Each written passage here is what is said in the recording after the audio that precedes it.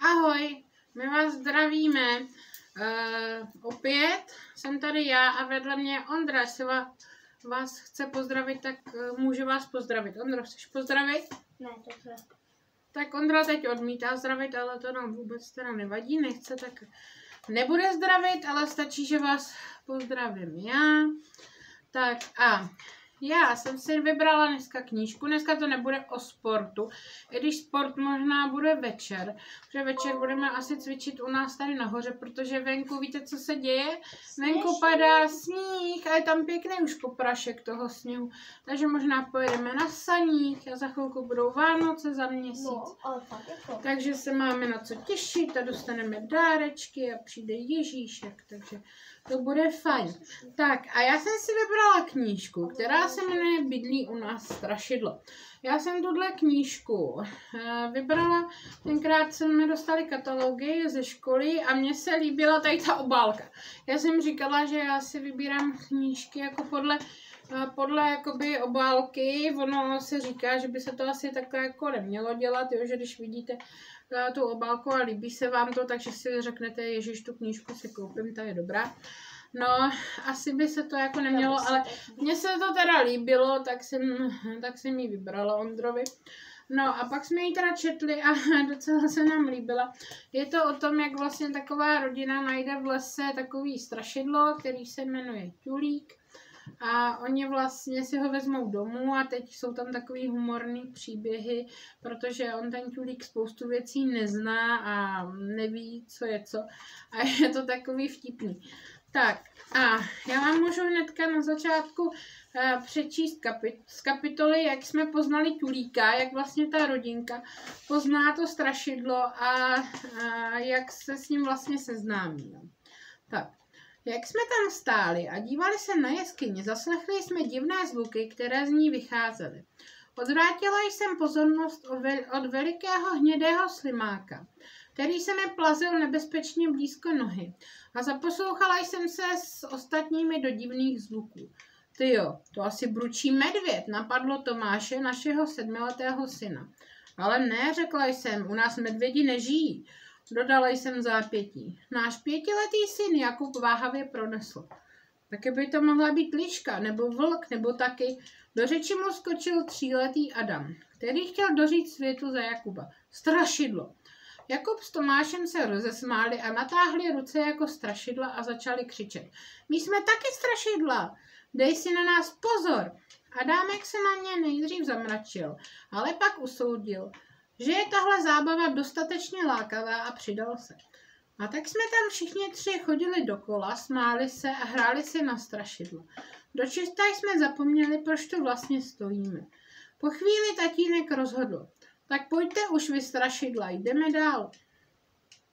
Kluci se rozběhli a já jsem za nimi ještě stihla zavolat, že se v lese neběhá. V zápětí mojí pozornost upoutala šalvěj. A protože bylinky ráda využívám, chtěla jsem si trošku natrhat. Cíbla jsem se, aby si utrhla pár lístečků.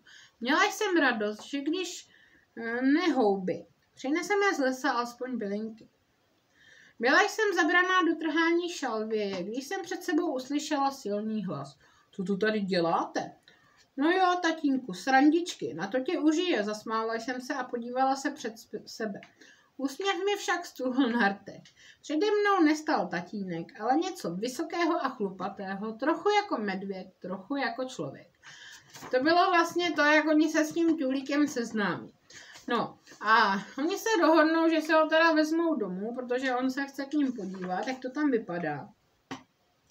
A začínají se s ním seznamovat. Tady, tady na obrázku je ten tulík s těma klukama. Jo? Ty kluci jsou tři. Je to rodina, kteří, která má teda tři, tři kluky. Tady tyhle ty. No a oni se ho vezmou domů a začnou se s ním uh, seznamovat a začnou mu všechno ukazovat. A je to takový, takový říkám humorný. Tak. Tady třeba je, jak vlastně on uh, si splete záchod s tím, že je to vlastně, že si v tom umývá, umývá jakoby obličej, jo, protože neví vůbec, co to je. Tak, to vám taky přečtu. Když jsme přišli, Tulík seděl sehnutí u záchodové mísy a oplachoval si obličej. Fuj, řekli znechuceně kluci. A na mě šly mdloby z představy bakterií, sídlících nyní na jeho tváři.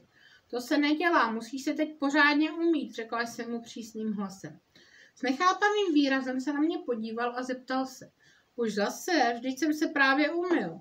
Otočil se a znovu chtěl ruce zabořit do mísy. Ne, vykřikli jsme zase zborově a rychle jsme mu vysvětlili, že tohle je záchod a ne studánka.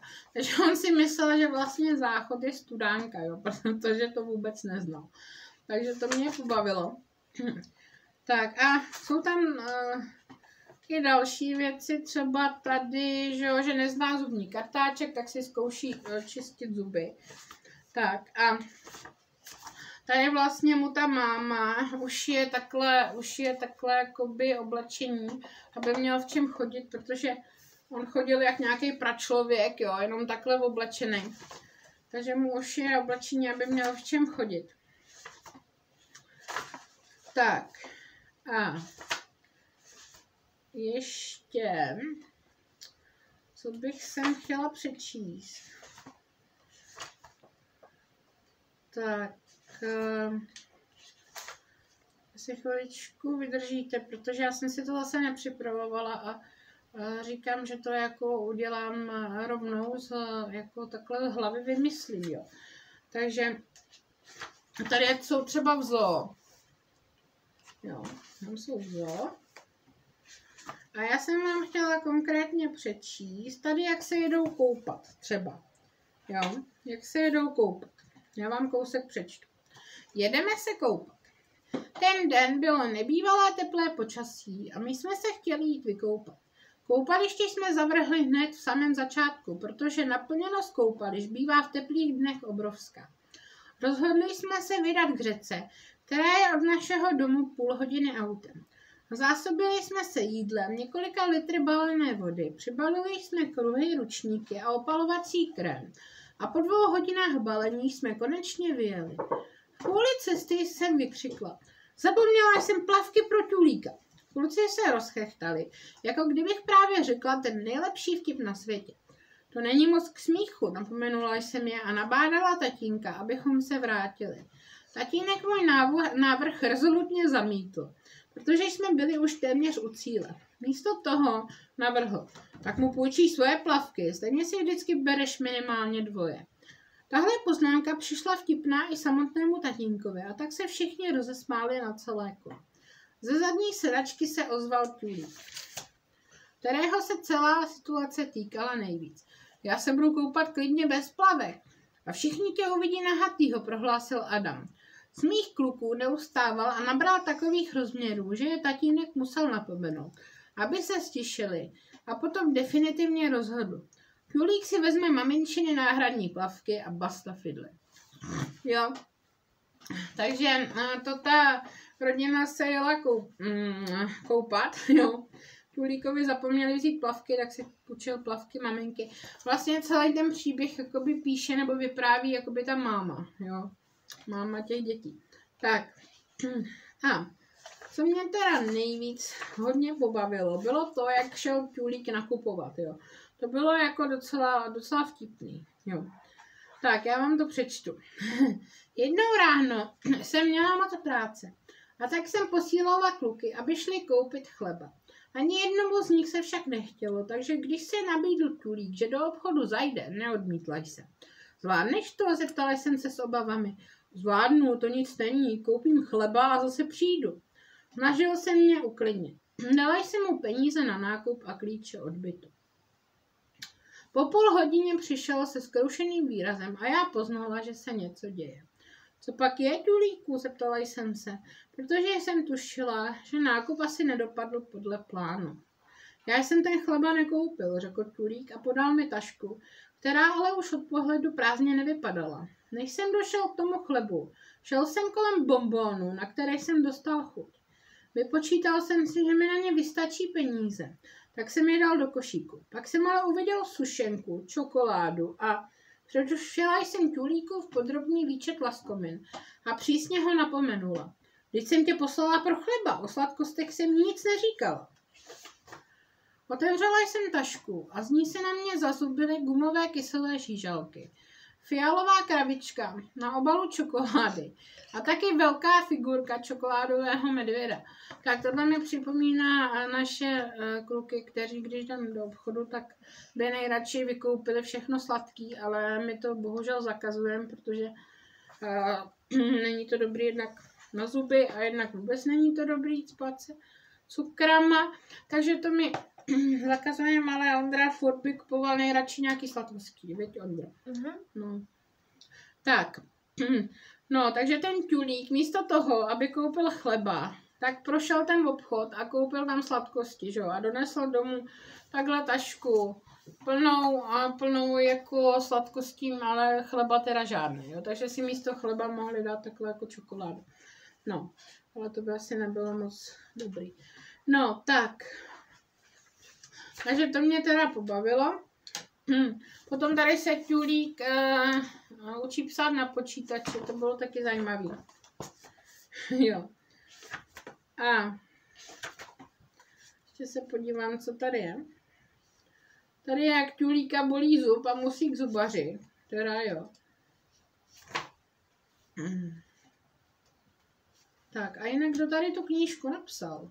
Já vám to taky povím. Tuto knížku napsala Jana Burešová a ilustrovala to Dagmar Chlápková. A mně se ty obrázky líbí, jsou takový opravdu pěkný. Jo, takže to je takovým jako humorným způsobem napsáno.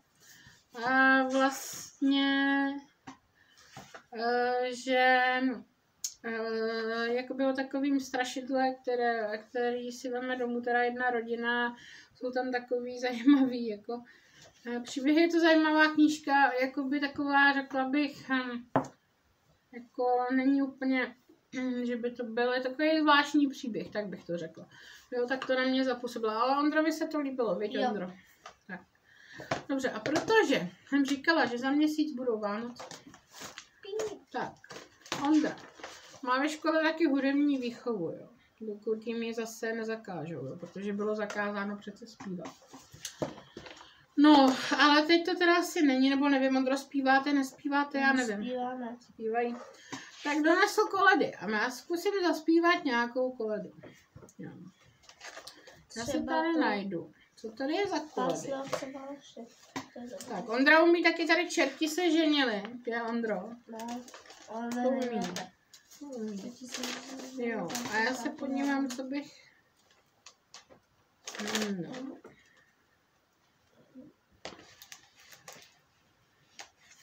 Tak. Hmm. Máme tady písničku.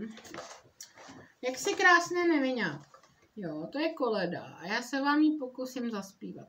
Nevím, nakolik se mi to povede, protože mám divný hlas, protože už asi měsíc um, kašlu a smrkám a uh, jako mám nějakou nemoc, takže mám trošku chraptě. Jo. Takže zkusím vám ji zaspívat. Jak si krásné nevinátko, uprostřed bídy nebo žádko, před tebou padáme, dáry své skládáme. Já ti nesu dvě kožičky, by zahřály tvé údičky. Já za trochu mlíčka, by kvetla tvá líčka. Já ti nesu veselého beránka ze stáda svého, s ním si můžeš hráti, libě žertovati. A co my ti nuzní dáme, darovat ti, co nemáme, my ti zadu dáme, písně zaspíváme.